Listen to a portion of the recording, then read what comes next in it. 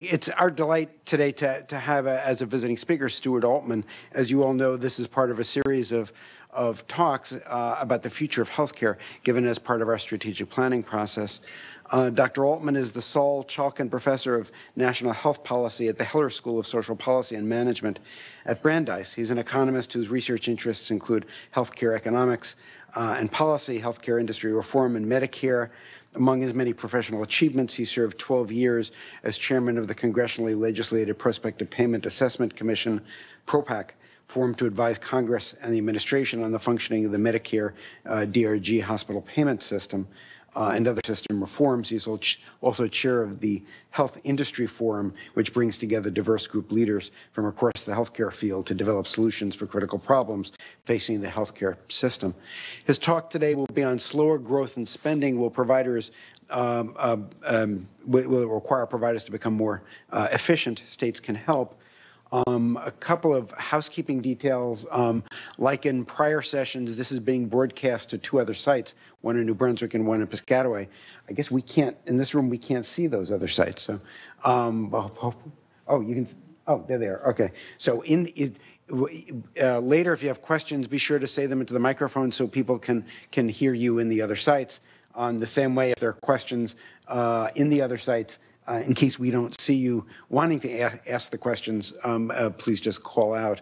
Uh, for those um, who are here um, in, in, this room, um, we'll, we'll, be uh, after the talk is over. We'll uh, we'll have a group of people if they want to meet with Dr. Altman Altman afterwards to be able to sit and talk for a while and ask him questions. We'll we'll have a, a, a session open for him. So, um, Dr. Altman, it's our pleasure.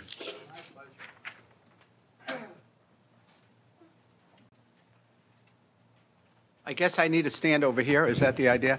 I usually don't like to stand behind podiums. I tend to disappear. Um, but um, I, I, can stand on a. All right. Can you see my head? Can the camera see my head? Well, it really is a pleasure. Um, I was telling the chancellor, I, I go in, in, some strange way way back to Rutgers. I mean, I go. Um, I grew up in the Bronx, and um, my father worked in Linden, New Jersey, and so you can imagine, you know, the trip he had. So when it came time to go to college, you know, all the kids were going to the city colleges in New York. This was back in the 1950s. But my father said the one private school that he would let me go to was Rutgers. At that point, it was a private school. So uh, I have now heard how it has changed. I've been here uh, I visited the Institute um, a couple of years ago and uh, down in New Brunswick and saw the changes that are going on. And here I was hearing about the all the exciting new efforts that's going on here. Uh, so it, it's a pleasure to be here. Um, now, I never did ask anybody how this thing worked. I was like, talking, which buttons? These buttons, great. Okay, good. So here's the deal. Uh, this is what I want to talk about. Um, uh, we are engaged in a um, you know, we're all part of a very complicated healthcare system. And I think it's fair to say we all understand that it is the most expensive system the world has ever seen. Of course, the way you look at this elephant depends on where you sit. And I, from the chances point of view, it's not, you know, it can use a little more money, uh, as well as many of you, and I can completely understand it. Of course, for the people that are paying the bills, it's getting harder and harder. Now, I should, you can probably sense from the color of my hair and the fact that I went to college in the 50s that I've been around a little while. And um, so I, I, you know, just to give some orders of magnitude, you know, we, we are dealing with a situation it started in healthcare back in in the early 70s and had a interesting perspective. I was trained as an economist and uh, wound up in a long story that I don't talk about sober.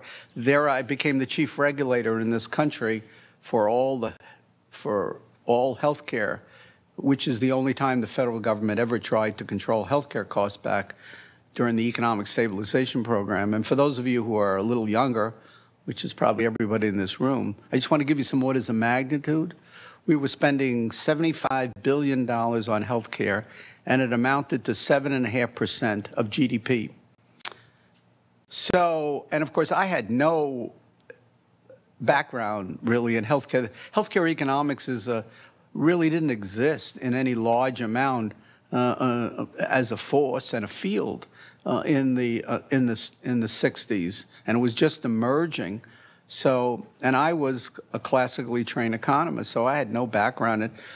So it sounded like a lot of money to me, uh, and people. I got called into the.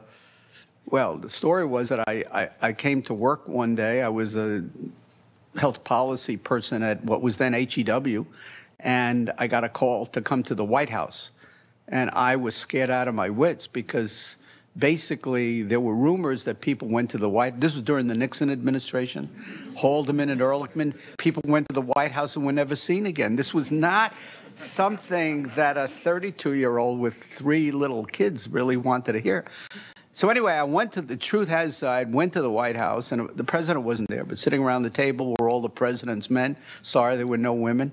And and the chairman of the Council of Economic Advisors said, "Do you know, Dr. Altman, that if we exceed seven and a half percent, if we reach eight percent, the level of inflation will just destroy our whole country."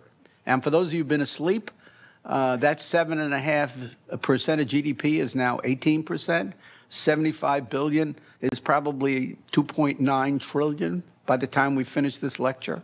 So, you know, we are dealing with a very complicated and, and expanding sector, which has been growing by two, two and a half percent more than our GDP over a very long period of time. However, in the good news side of the story is over the last couple of years, this growth has actually slowed. So if you look at this chart, I hope everyone can see it in other places. The growth rate, these are the growth rates, by the way, has actually reached a lowest level we have seen since those early 1970s. Recently, though, there is some uh, evidence to say that the growth rate is now ticking up a bit. So the question that I raise with you and you have to think about in your different is is this a sustainable growth rate? Are we going to go back on the good old days if you're in the spending business and a bad old days if you're in the paying business? Um, or is this, these growth rates going to continue at slower amounts? So there are some who believe that the current slowdown will be permanent. And their argument is that we will see small, we are already seeing small positive changes in the market, which will keep growth in place. Things that are good. Providers have become more efficient. Efficiency is much more the name of the game. We are seeing uh, around the country less hospital acquired infections, which not only improve the quality of care, but also in, reduce the costs um, rehospitalization, which has been a really tough issue, and I'm sure uh, the chancellor and others uh, in working in hospitals and healthcare realize that a lot of that rehospitalization can be positively impacted on, but it requires a change in emphasis. And yes, hospitals are now being penalized uh, for failure to do something about it. And I spent a lot of time with hospitals, and for those of you who run hospitals or involved in hospitals, the typical reaction of the hospitals was, why are you blaming me? Why are you blaming us? We did our job. We took care of that patient. We got the hip replaced. We got the heart fixed. We got whatever. And uh, we turned it over to the next part of the system. And the fact that they've come back, it wasn't us. And, and now we're being penalized. And the answer was, yeah, I know. And the question is, why'd you pick on us? And I'll tell you quite frankly, the reason why hospitals got picked on is they're the biggest game in town. And there was enough evidence to know that it wasn't necessarily the hospital's fault, but it was the hospital's capacity to change it by really recognizing that they were not through with that patient when they finished that part of the care. And you know what? It's working. We are seeing a reduction in rehospitalization. And then finally, but not finally, um, the issue about patient cost sharing. um, is a very contentious area, but the reality is then when patients face some amount of cost sharing, higher deductibles, co-payments, they do become more concerned about certain aspects of whether they really need that x-ray or whether they can get it at a less expensive place. And probably the most contentious part of this change is the growing use of limited or tiered insurance networks. And that is playing out all over the country in different ways. And I'll talk about that in Massachusetts, and I'm sure we can talk about it here in New Jersey as well. One of the areas that um, some have talked about is that we've gone through a hiatus in terms of the introduction of expensive new technologies, but I think that is coming to an end. And we heard about it recently with the, the new drug that uh, can deal with hepatitis C, which is sending insurance companies into a tizzy. Uh, and uh, there are many other high-priced, particularly oncology drugs that are coming online. So we've had this kind of slowdown, but for those of you who are in the biomedical world, uh, um, I'm not sure that that is going to continue. But here's the but. There are two sides to this coin, and I need to emphasize this. One is the spending side, and the other is the revenue side. Last week down the road, um, I run for the last 21 years. Joel Cantor can remember this well. With the help of the Robert Wood Johnson Foundation, we created what's called the Princeton Conference. And uh, it's and not only it's co-chaired in a way by a young economist uh, down the road a bit, Uwe Reinhardt. Some of you may have heard about him or have been taught by him. He and I have been good friends since the beginning of this crazy world together. And he and I were sitting having a talk uh, before, and he said something that, that is absolutely correct.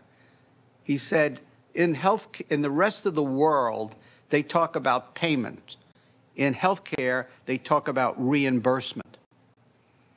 And what he meant by that, and what I mean by that, is that healthcare, for the most part, has been fortunate in the sense that it has um, generated the costs, and then it expects the payment system to pay for them, to be reimbursed. And that's what the word means, to reimburse for costs. In most other industries, you know what your payments are, and then you have to adjust your costs to those payments. So here's the question for you, and the question we look at going forward, can you expect and count on a payment system that will reimburse the healthcare system for the cost that you believe is appropriate? Now, I'm not, let's hold whether those costs are legitimate or not. Obviously, much of them are. You know, for someone like myself, who's no longer 31 years old, Truth of the matter is, I am falling apart, and I care a lot more about the quality and availability of care. So I'm not talking about myself. So to the extent that the costs are being generated to take care of me, um, I'm all for higher costs. To the extent that they're taking care of you, I care less about that.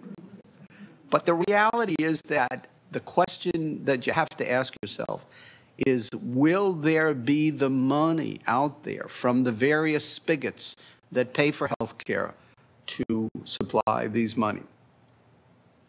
So as we look out into the future, we have a lot of skeptics. And one group of skeptics, uh, for those of you, for you and me who really understand Washington, the real power in Washington is not with the Secretary of Health and Human Services or the President or the chairman of this committee or that. It's for those, those people who economists instinctively don't like. They're called actuaries. And they are all powerful in terms of determining how Medicare pays, what rates is, stuff like that. And they're the ones that send the, and their, their view is that they think we're heading for three uh, trillion dollars very quickly and that we will exceed 20% of GDP. So they are very skeptical. But I do believe that this slowdown will, is real, and will some, with some bumps in the road, we will not go back to the rates of growth that we have seen in the past. Not that we won't grow, but that we won't go to two, two and a half percent more than GDP. But as I said, the first quarter of 2014, we have seen a very large increase, actually the largest increase since 1980. So we may be back on that trend, but let's see how this is going to play out. So here's, here's my take on this issue.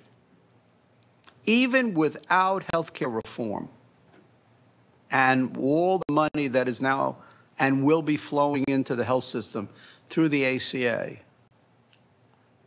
we are seeing a very dramatic shift in where the dollars come from. I did this slide several years ago, and I'm not prepared to, it took a lot of work. And so I'm, I, it, the story is still the same. The numbers may be different, and he actually strong. I'm waiting to figure out how many states are going to go on Medicaid expansion and so on, because I don't want to do it and then do it again. But the story is the same, and the story is very clear that over time, if we take our hospitals, there is going to be a significant shift in the payer mix. Now, you take a place like Rutgers, you're already there. Who, who here understands the finances of your hospitals? Who's, your, who's the finance people here? So, what percentage of your uh, revenue, or more importantly, what percentage of your expenses are government patients? I bet you it's 70 to 80 percent. That's, so you are the future of our healthcare system, whether you like it or not. Now, the average in 2020, in a couple of years ago, was six was about 55 percent. But you go into an institution that has large Medicaid population, as you do, you, you know what I'm talking about. Your ability to shift costs to private sector is quite limited. You have, you are, so I'm talking to the converted. You have to live within the revenue more than a lot of hospitals. They just turn around and they find out what they get from government, uh, Medicare and Medicaid, and then they then they look at their shortfall and they go to their private insurance ATM machines and they say, well, you were at Penn before, you know. I mean, it was, I, we can talk about that later. they go to their private ATM machines and, uh, and say, we manufacture. Uh, yeah, right. so the, going forward, this number is only going to go up. And, you know, I, I, it can't go up much more for you, but it will, a little more. But the rest of the country is going to catch up. And um, so, and therefore, the ability to sort of generate those funds are quite limited. I played around. Um, this is a, a, this chart is what I call payment to cost ratios, which is how much each of the major sector pays relative to the cost of the care of that sector. And the green is, is private insurance and the red is Medicare, and the yellow is Medicaid. And you'll notice that the yellow and the red, except for a little brief period, is below 100%, and the green is significantly above. Now, there's a big debate that's been going on forever, and Joel, uh, I'm sure, would agree, you know, that some people say that, the, that we call it cost shifting, that hospitals and, and other institutions have the ability to generate more money from the insurance companies when they need it. As I said, it's their ATM machine. Some economists believe that's not true because they're always trying to maximize the amount of money, and and uh, therefore it's it, it's not true. I think there's a little more than a little truth, but truth is probably in the middle. It depends on where you live, and we've now recently had a number of studies uh, particularly done by Jamie Robinson at the University of California and others. And it depends on where you live and the ability of the healthcare system to turn to the insurance industry and say, we're short of money, uh, we want another 10% increase. Um, but the reality is regardless of how it happens, is that the private insurance industry has made up for shortfalls from government. That is just not going to be possible anymore for two big reasons. One, as I said, the demographics are such that the proportion of the population in the hospitals will increasingly be Medicare and Medicaid, and therefore the ability to go to that ATM machine, it just, you know, it would require premium increases that we've never seen before. And second, the market of the insurance industry is changing.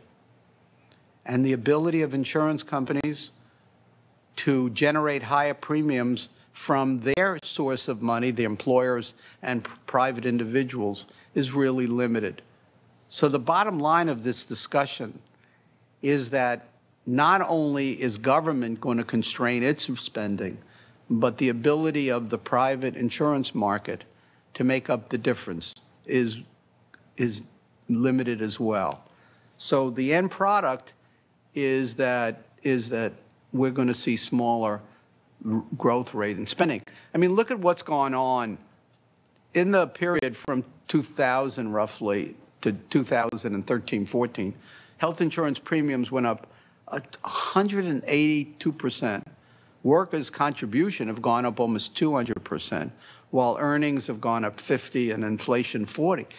I mean, the, this is one of the main reasons why we've had a stagnant um, a growth in real wages uh, in throughout the country.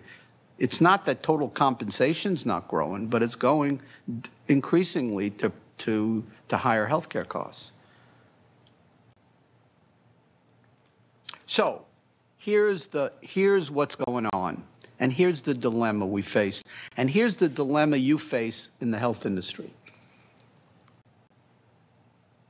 There are different approaches that the system could take to slow the growth in spending.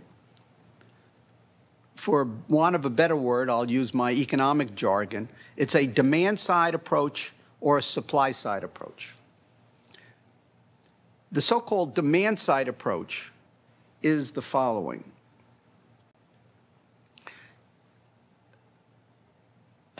Insurance companies are increasingly, and I'll show you in the next slide, are increasingly selling and employers are demanding that their employees take what we call high deductible or consumer directed health plans.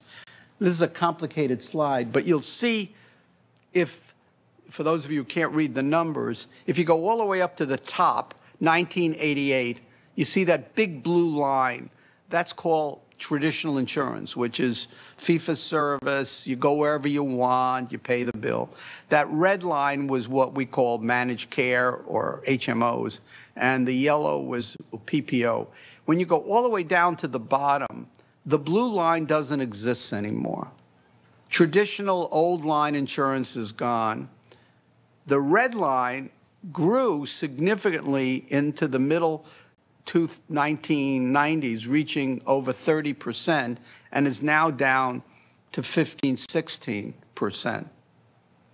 But in its place, the major form of insurance in this country is that kind of yellowish, well, it's not yellow, it's I don't even know what color you call it. But it's what we call PPOs, which is a combination of a little fee for service and a little managed care.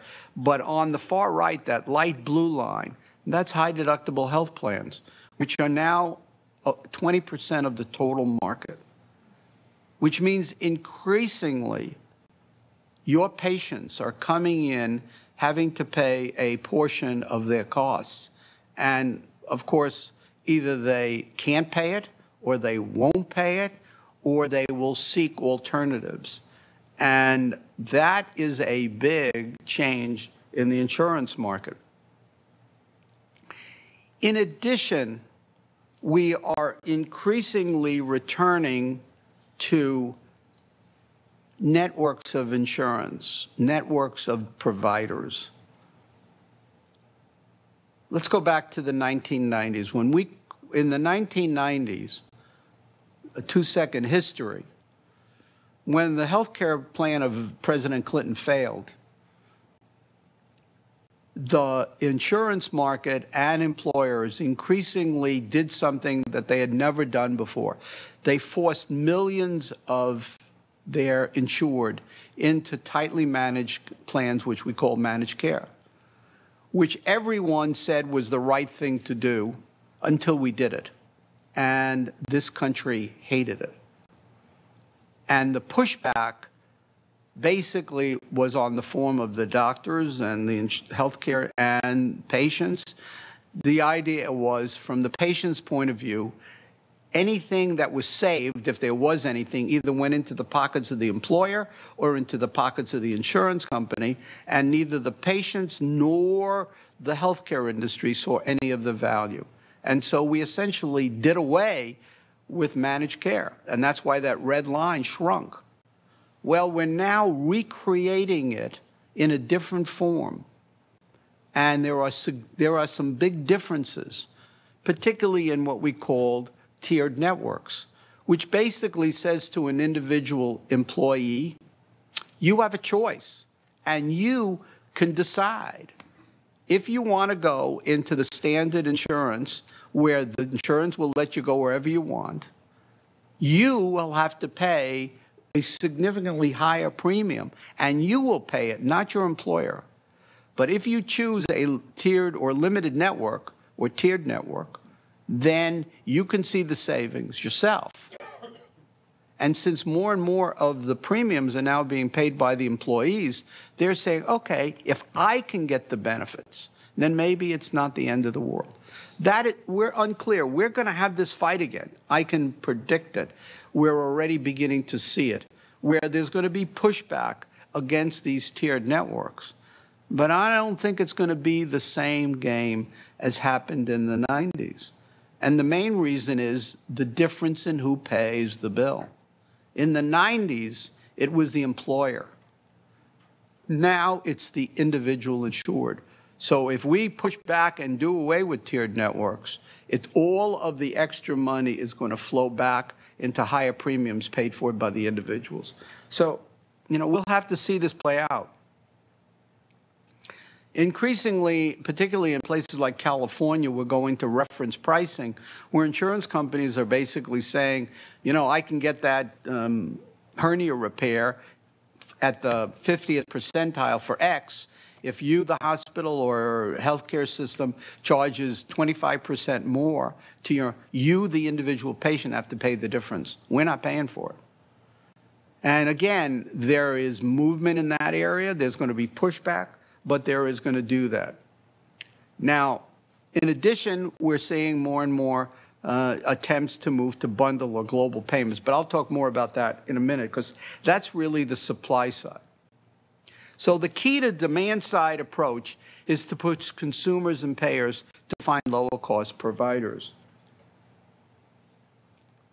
And you and all the are taking a hard look and saying, you know, maybe if we can provide it for less, become more efficient, we can become a lower cost provider without giving up on quality and access. That's the key. If you're perceived as a lower cost but poorer quality provider, then it's not so clear. But you are seeing examples around the country of places like Virginia Mason and in California and some hospitals, which I'll talk about in a minute, in Massachusetts and maybe here, where you can say, look, we will be able to provide those services for less than the high cost spread. So this battle is just beginning. But I'm a two-handed economist. That's the demand side. The supply side approach basically is to give the suppliers, the hospitals, the doctors, the healthcare system, the financial tools and said, okay, we're going, we, the payers, are going to set up, and that's what the ACA did. We're going to set up a payment system that says if you do save money, you can share in the savings. It's up to you. You can do business as usual, but if you're willing to go to bundle payments or to um, uh, forms of global payments, you can see the benefits in getting some of the savings. But here again, for the umpteenth time in my lifetime, is an attempt to reduce for service. If there's any mechanism that has nine lives in American healthcare, it's. We were killing for service in 1972. We were killing, and it was dead in 1982. It was dead, and and they were saying prayers in 1992, and it is still alive. So, are we? And you know, you talk to any analyst, they go, if we're going to have any possibility of attempting to control spending, you got to do away with fee for service medicine. It is, and I say the same thing, but having been there and watched it play out, this cat really does have nine lives. But if we don't do something about it, so here's the dilemma that you face as providers. If we don't do anything with fee-for-service, and you still have a payment system that is not going to grow, the only way that the payment system can deal with the continued fee-for-service is just to pay less. Because they can't control volume. So the only way you say, okay, you know, you used to get $1,500 for that, we'll pay you $1,200, not, which is what happened a lot in the managed care world, and that's why we went from so-called managed care to managed costs. So in a way, it's even in the best interest of the provider community, the hospitals and the doctors, if to do away with fee-for-service, but go to a shared savings model, which allow you to benefit from the efficiencies. In other words, as opposed to the money only, so the key here is this money can go back to you. So suppose you save 10%. On the demand side, all that saving is going to be generated back to lower premiums and back to the payers. In the supply side, much of that, half of it, three quarters of it, can be pulled back onto your side of the equation. So from a provider point of view, you really do want the supply side to win because the demand side is a much tougher world. Um, but, um, and as I said, to make this work, you really do need to do away with for service. And let me give you some real examples of that. Again, you have to decide. So I'm going to talk about my current life. In, uh, when I get to the state of Massachusetts, so I'm just going to, you all understand the issue about accountable care and bundle payments and how it works and reward you for becoming more. And I know that's what you're trying to do, Brian. You're trying to consolidate and find efficiencies within your system and bring together organizations that traditionally have been separate. And that's the right thing to do. And we know that moving away from fragmented and, and duplicative and wasteful services doesn't really help anybody. And again, it permits providers to pay for service. And here's a key issue. When I talked about rehospitalization, the best way of doing away with rehospitalization is to making sure that there's somebody out there in the community that's helping those patients deal with the fact that they're out of the hospital, but they're not, they're still sick, which means often paying for people who traditionally will not paid for under fee-for-service system. But if you get to see the benefit of those efficiencies, then it pays for you. And we are seeing many examples around the country of where hospitals have hired uh, caseworkers um, uh, and uh, you know care coordinators that call different things in different parts of the country. My friend, the governor of Oregon, has created a whole new Medicaid payment uh, delivery system, not a payment system, a delivery system around these care coordinators in their Medicaid program. And he's gotten the support of the hospital industry to do it. But there are concerns about the supply side approach, and, and that is right now we do something we call shared savings, which is a not the strongest technique as opposed to, say, risk, where the potential is actually for you as hospitals and doctors to actually share in a greater amount. But the idea is that if you don't, you also have the possibility of losing. In a shared savings model, it's only a one-sided game. If you don't get any savings, then you don't lose anything. It sounds good, but then in return, the government says, well, I'm not going to share too much of the savings. I'm going to take most of them for myself.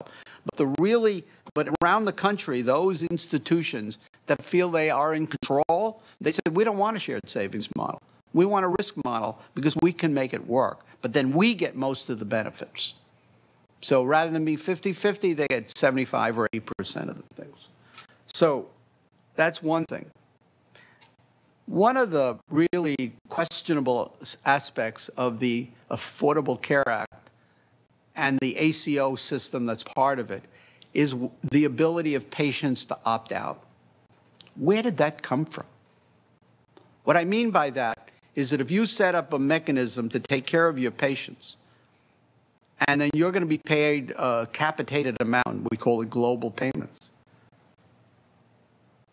It's one thing, and you have this population, but that population, halfway through a condition, can say, well, I don't want to go to, you know, I mean, you know, my uncle's brother's son, the doctor, I want to go to him or her, and they're not part of your system. They can opt out, and you're still responsible.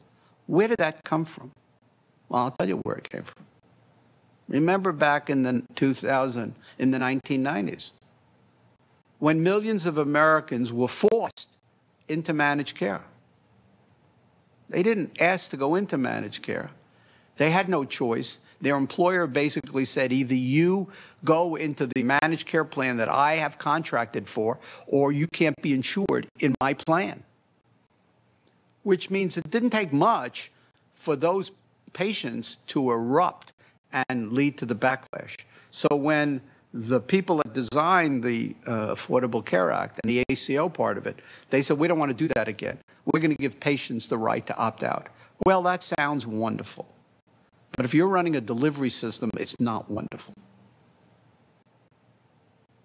I was on the board of the Tufts Medical Center in Boston, and we were running one of these things. And what we found is, you know, we, you know, uh, it's one thing when the patient's healthy, and then all of a sudden they get sick and they go, oh, but I want to go, you know, the, to the brand name because I have cancer or stuff like that. And we were stuck with the bill. They said, if you want us to manage these people, they have to stay with us. So this is going to be, this is a potential issue going down the line.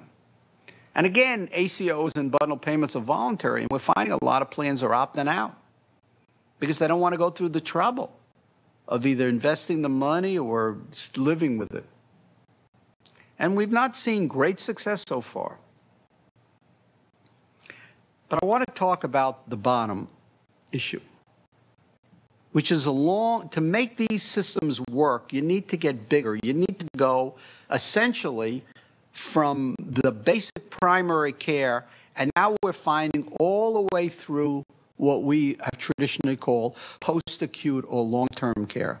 What we are finding, and I would suggest you take a look at a new Institute of Medicine study, the, some of the biggest increases in costs are not even for very complex uh, procedures like open heart surgery. The, often 50% of the costs to the payers, particularly Medicare, occur after the patient leaves the hospital. None of us, and I would raise my hand, and maybe some of your researchers, we didn't know this. People thought it's post-acute care, it's home health, there's a little bit of rehab. It ain't little. And not only that, one of the biggest reason why certain areas in this country spend a lot more money is on the post-acute side. So when we talk about a, a system, we need to think about a system that goes from basic primary care right through to post-acute or long-term care. That's a big job. Well, order, when you put that together and you get bigger and bigger and bigger, one of the aspects that's occurred is that these systems then use their market clout to extract higher and higher rates from the insurance companies to try to get that part of the spigot to work. And that is causing trouble. So I'm going to talk about that in a minute. But right now, we are in a confused, you and we, the country, is in a confusing state. And that is if you go down the ACO route and reorganize your system to count on global payments, and then it turns out they're not there, and you're still in a fee for service demand side world, you're in the worst world you could be in. Now, I knew that in principle. So one of the jobs that I've taken on is that the governor of, for, and I'll talk, the state of Massachusetts in 2014 created a new cost containment system. And they put in, and I'll talk more about that in detail in a minute, but they put in place a new commission to oversee the system. And the governor asked me to chair it. And one aspect of this new system is that every November, October, we have a hearing for two days on what are the drivers and costs. And last November, October, and during that hearing, a physician who is in charge of a big network of physician groups around the state pleaded with us that you can't you need to get this thing changed because they had created a whole network to, to do what I was talking about, to coordinate care through things and do that kind of stuff. But they needed essentially global payments or capitation to work. And then what they're finding is increasingly our patients are still in fee-for-service and they're still PPO. They said, how we can't, we can't function. So if you're a hospital and your CFO is saying, we need to fill our beds, we need to get paid. That's how way we're getting paid. It's all well and good to talk about all this other stuff which we're not getting paid for. To keep people out of the hospital. We talk all the good game. Keep them out of the hospital, keep them in lower cost, stuff like that. Well, that sounds great, and I'm all for it. But we don't, we don't get paid unless they come to the hospital. That's fee for service. So we're right in a very confused situation now. We got to, we as a country, need to come up and decide which way we're going we need to develop a common approach. And that brings me to the need to change the PPO model, which is that big line, which is where most private insurance is. And we need to get the PPO model to become more like what used to be called managed care, or at least have what we call a PPO attribution system where you could create global payments, even though they're in a mixed set. It's not easy, but it is doable. So I just want to briefly talk about this issue in Massachusetts.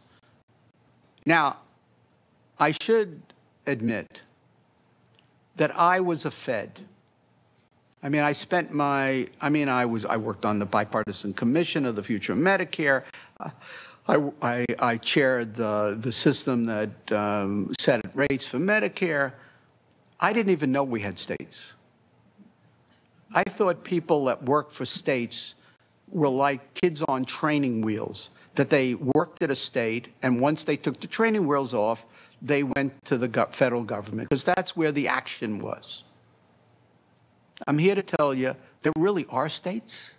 And not only that, I am convinced, now maybe it's just where I sit now, but having still spending some time in Washington, I mean, we all know the truth that Washington is dysfunctional and not functioning.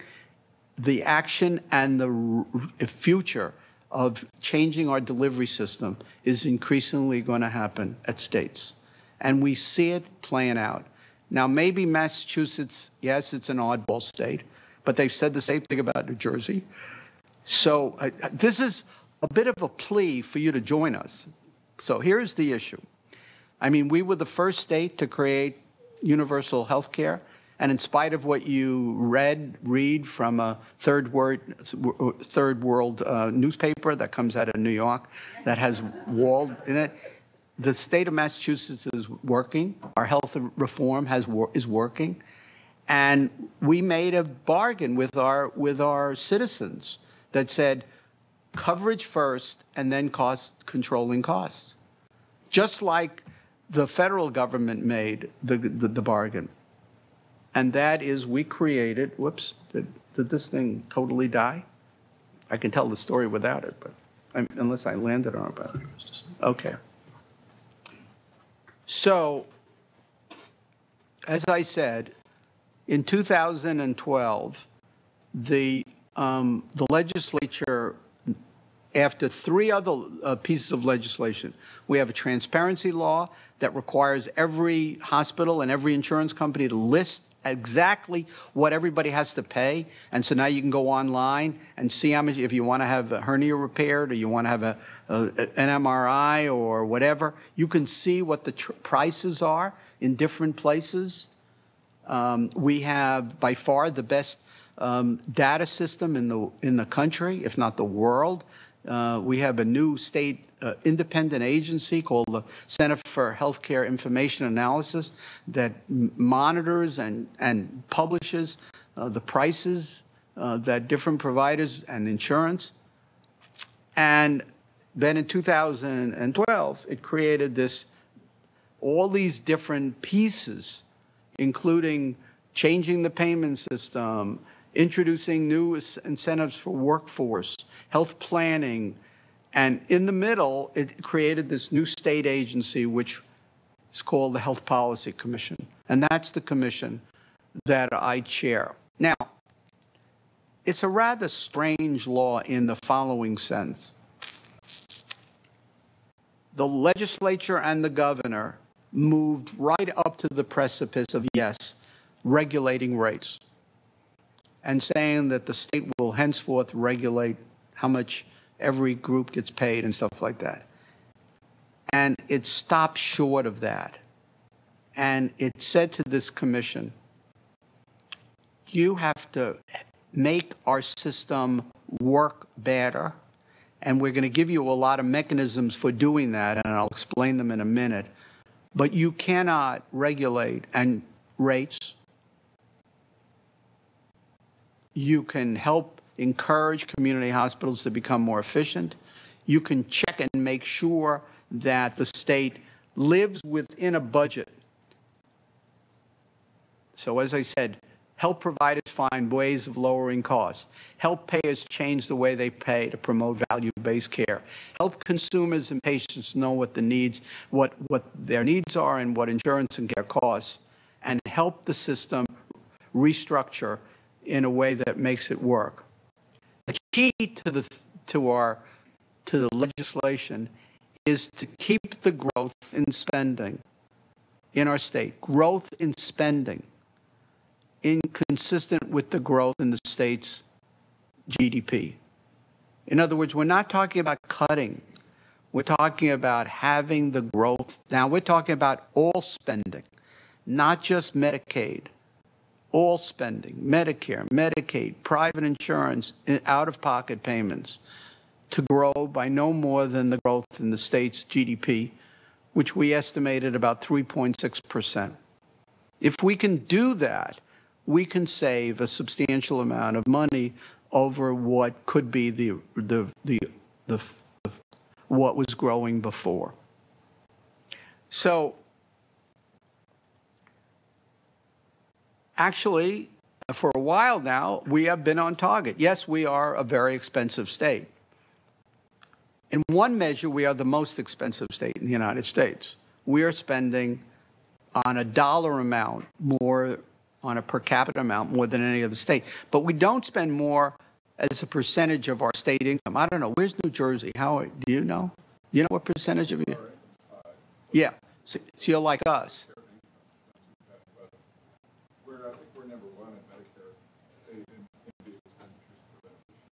So you're very expensive when, it, for those of you who haven't heard, Joel, you're very expensive when it comes to Medicare.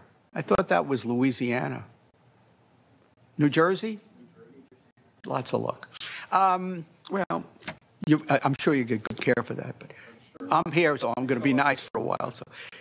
But the point here is that Massachusetts is very expensive, but we have, we're a high-income state, so as a percentage of our state income, we're not the highest in the country. I can go up north to Maine or New Hampshire, actually, they spend a higher percentage of their income on healthcare than we do. But we are expensive. we are two, two and a half percentage points higher than the national average. And when I was out in California, California actually, uh, actually spends a smaller percentage than the national uh, rate. But, and so it's been flat roughly to 2012. Now that we're going to get the latest numbers in 2013 and 14, we'll see, I think we're going to stay flat for at least two, through 2013. What happens in 2014 now is up to us. So we're not a regulatory body, but we're close. So now I don't know how much time I have. Do I? Where am I on time? I, I don't. What time am I supposed to end? We started late, as people don't mind going another. If you're all right, because I, I, I want to give you the what happened this week. And this is a long story, which I will really condense. One of the aspects of this commission and the law is that any consolidation, merger, any form of integration within the health system must be reviewed by this commission to determine what impact it has on quality, cost, and access in the state. Now, many of them, so uh, 10 physicians merging with another 10, we just let go by. Two small hospitals combining, we, we just don't look at it. But soon after we were formed, our biggest delivery system called Partners Healthcare. Now, for those of you, anybody from Massachusetts? Anybody know Massachusetts? They're, you all know partners. It is the Mass, it started at the Massachusetts General and the Brigham. Uh, and if you ask them, they will tell you the two best hospitals in the world. And I, I won't question them since I got my health care there. Um, merged and to form partners. That was one thing. But then they took on and they bought hospital up north, North Shore. And then they went west and they bought Newton Wellesley. And they are basically 13 hospitals, 6,000 uh, odd physicians. And I don't even, you know, I, the, the billions of dollars of their budget. And they decided, since they, they already controlled the North and almost controlled the West, they were going to merge with the largest community hospital in the South, called South Shore. And we had been on the job about a month. And little, you know, all of a sudden it hit us. Now, our job was to review this, but the law does not let us stop it. All we can do is turn our results over to the Attorney General and to the Justice Department. So we reviewed it and we found based, and I should point out that Partners, because of its power, has been able to generate anywhere from 30 to 50% more to be paid for the same services that are provided to other hospitals in the area. And that their doctors make 20 to 30% more simply by being part of the partner system. And that's been documented over and over again. Um, and I'm talking about even getting more than their sister institutions that are other Harvard big teaching hospitals, like the Beth Israel, or the or Deaconess now, and um, or the Tufts Medical Center. So it's not only academic medicine versus the community hospital. So we did our report, and we found that it would significantly increase prices and costs. Of course, they reacted quite negatively to our report and wrote back a, an attack on us. And then we wrote back a very balanced and logical and high quality retort to them. Fact based, as I say, as opposed to emotionally based. And we said, sorry. yeah, you're going to do something. They said, we're going to do all these good things. We're into high cost case management, and this is a new world. And we said, yeah. But you're also going to generate a 30% increase in prices them. So we did what we were supposed to do. We turned it over to the Attorney General and we said, okay, here it is. And that was back in uh, January, December. And on Monday of this year, week, the Attorney General announced what happened. And I think it's going to have very interesting ramifications all over I should point out among us that it wasn't only the Attorney General, but it was also the Justice Department in Washington that had been looking at partners for a long time. And it's not a big secret to say that within the Massachusetts system, the other providers, and of course the insurers, were behind the scenes rooting us on and rooting on, and, and many of them wanted to break partners up and do all this, you know, take Humpty Dumpty and, know, break them up. So what happened was, no, they didn't break them up. But they said to partners, based on our report, not only are we concerned about what you're going to do to South Shore, but we're concerned about what you've done on the North and what you've done on the West. And I won't go into all the details, but they said to them, if you want to merge with the South, you have to go to a whole set of changes. For example, if you bring the South Shore doctors under your wing, you can't immediately raise their rates to what you're being paid in other parts. You can't raise the hospital rates. You have to keep them separate for anywhere from five to seven years. You have to bar, you can't bargain as one unit, which is what they were doing. So they said basically to an insurance company, turns out the relative power was so strong. They would go to an insurance company and they would say, if you want to send your patients down to the Mass General, you have to pay those the rates that we want you to pay to community hospitals that are 20, 30 miles away. And the insurance companies had no power to change that. So anyway, I won't go in. I more than suggest you can look on the website. And it, it, it, it more than slapped their hands. But what it did, it said, okay, partners, you say you can change the delivery system. So we're not going to deny you at the end for some degree of consolidation. And besides, you're a very big and good system, and you're there. And, and I was all supporting this. We are we were not there to destroy a very good healthcare system. What we were there to say is you no longer can make these calls independent of the potential impact on the community. And, you know, so some people, so this thing came out, and some people are screaming, they wanted partners totally broken up. Uh, uh, and I said, hey, this is not possible. First of all, I don't, we didn't have the legal authority to do that. It would have been court actions for years to come. So I had nothing to do with the final decision made by the Attorney General and the Justice Department, but it is going to have ramifications all over the country. We're already seeing it. A, a judge in Idaho struck down a, a big merger of two, a big system out there, saying, yeah, there are some savings, but there are cost increases. So here's the end of the story. States, we already have the state of Maryland is going to uh, a more expanded all-payer system.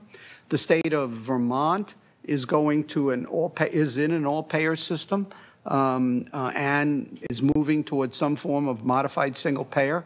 The state of Oregon has changed, as I said, not only has it changed its Medicaid program, but it's now bringing all its state employees under this, and it wants to eventually pull in the private sector as well.